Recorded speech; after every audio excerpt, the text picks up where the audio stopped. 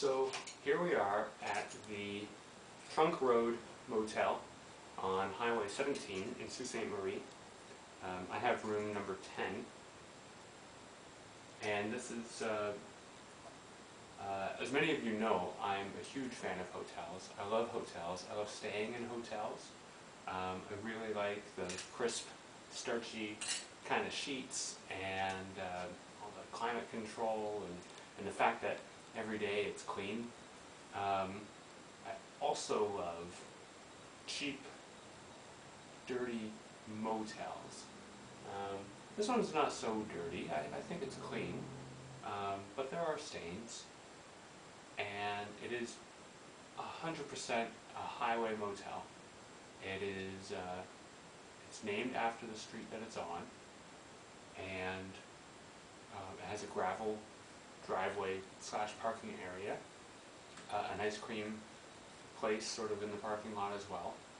Um, and it's just, it's a great sort of classic motel. The reason I picked it is um, because it looked cheap and uh, it had free internet as advertised on the sign. So that was basically the, uh, the gist of what convinced me to stay here. But I, so glad that I chose it. Um, I love the, uh, I walked in and it was just like, oh, this is a small room. Um,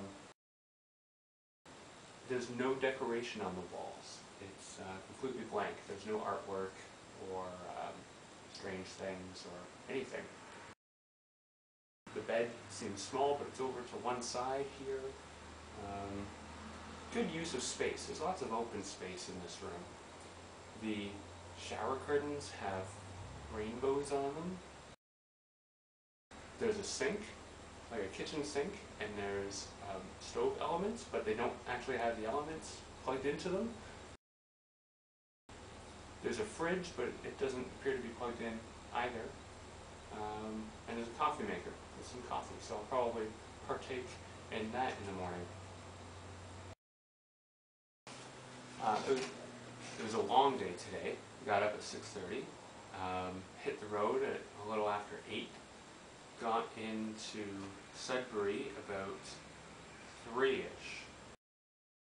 I didn't actually leave Sudbury until about 4 because I went looking for the Big Nickel and I had a really hard time finding it and I actually went from one part of town almost across and then almost back and out and then had to come back in to, uh, to go to the Big Nickel. When I got there I took two pictures and left again.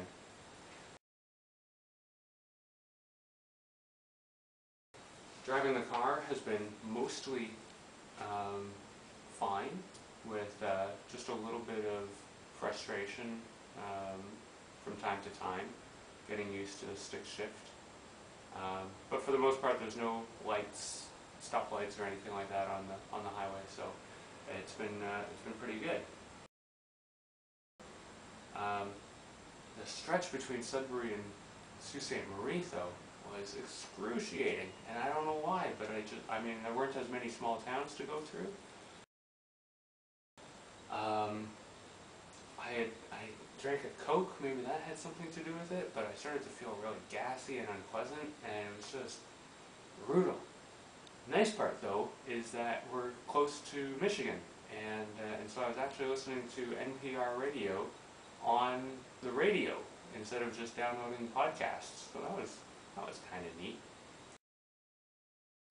Apparently this is the weekend that Lakehead has its convocation ceremony, and parents are booking up all the rooms. So that, that made me a little bit worried. So I got online once I got into this hotel and uh, I got the number for Bob's Motel and I made a reservation. No credit card or anything like that. Um, and he said it's cool to pay cash because my credit card's maxed out right now. Um, so that's where I'm staying tomorrow and uh, it should be a good day.